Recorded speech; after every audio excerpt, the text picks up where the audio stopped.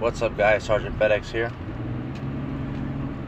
I'm gonna show you the guy. Show you guys the way that I like to to chip, whether I'm using a long iron or a wedge. I want the to try to hit the ball as close as possible to me, so that the wind isn't that much of a factor. So, to me, this is what helps the most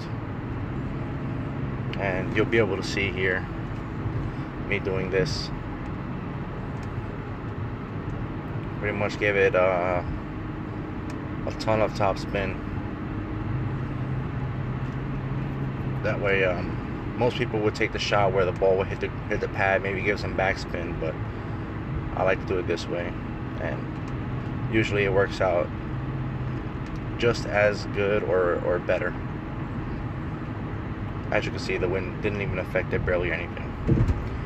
Alright guys, please subscribe, like, give a thumbs up. Let me know if you guys want to see anything else. Have a good one.